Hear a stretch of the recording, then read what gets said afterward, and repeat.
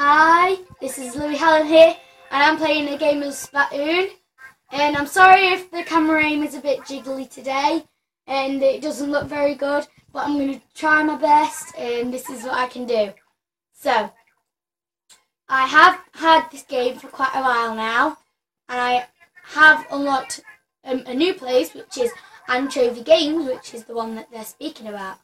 So, um, right now, I'm trying to um, pass level 27 and today I'm going to be doing um, some regular splat levels and some rank battles and I might be bothered to do the big boss after three levels.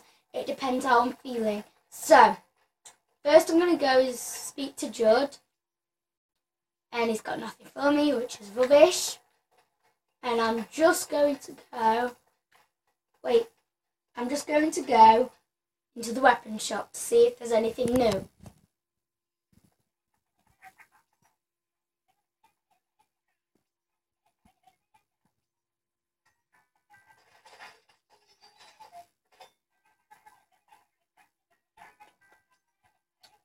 So, but I am still a businessman, so understand.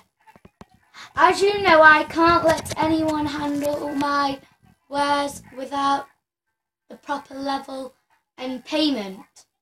Let's see at your current level 1, can I sell you the, now the Aerospray MG is a shooter I made myself with a little help from my grandpappy's blueprints. But I'm just going to skip all of this yeah. really quickly.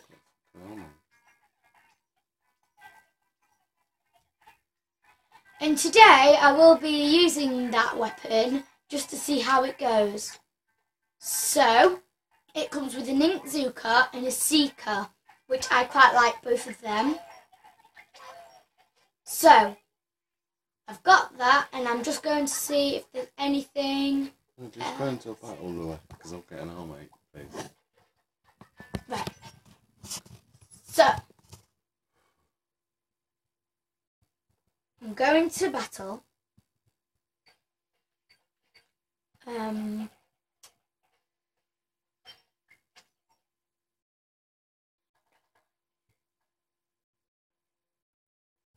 now I'm just waiting for a battle. So if it takes a little while, I will pause it I'll be back when teams are full.